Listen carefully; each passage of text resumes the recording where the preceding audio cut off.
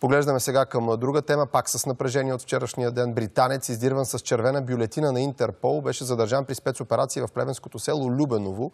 Дейвид Бодио се издирва по искане на властите в Манчестър за подготовката на терористични действия. С още подробности от село Любеново включваме Марияна Трифонова. Марияна, здравей! Здравей, Злати! Дали заради ранния час или заради шока от задържането на британския гражданин, но към този момент селото е притихнало. Иначе той се е укривал в къщата, която виждате зад мен.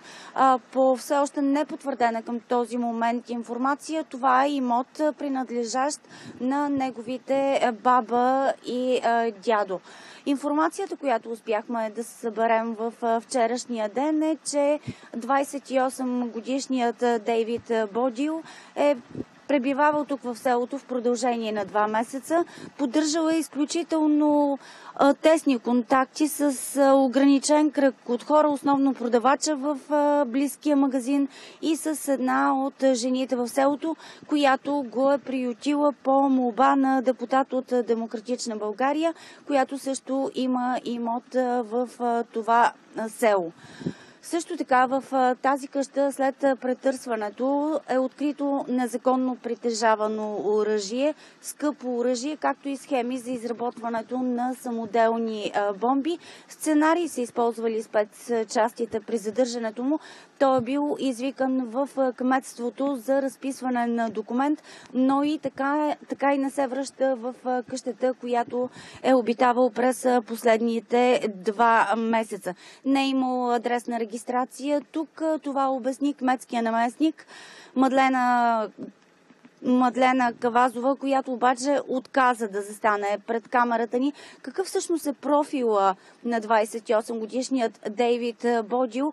Нека видим от информацията, която успяхме да съберем от говорителя на главния прокурор, от депутата на Демократична България Обена Семьонова, както и от неговия последен пост в социалната мрежа Фейсбук.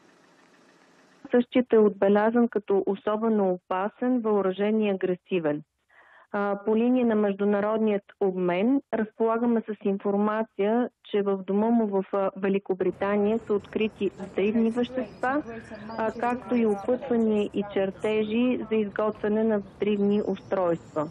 Колегите ни от окръжна прокуратура Плевен ще задържат британския гражданин за срок до 72 часа с оглед осигуряването му пред окръжен съд Плевен – за започване на процедура по екстрадиция.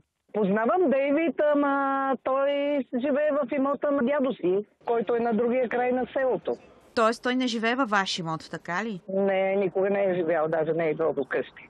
След нова година му помогнах, че никой не говори английски в селото да си плати телефон, да си плати тока и да си плати водата. Полицията възнамерява да ме осъди за престъпление, при което няма жертви.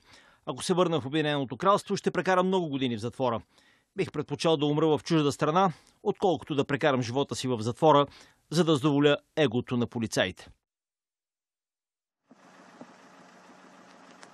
Първоначално британския гражданин е бил задържан по закона за МВР за 24 часа. Впоследствие прокуратурата в Плевен е поискала удължаване на мярката на 72 часа, за да не може лицето да се укрие. Към този момент все още се очаква преведена заповед за задържането му, така че съдът в Плевен да предприеме да започне процедурата по екстрадиция или пък съответно да прецени дали той ще бъде съд осъден у нас.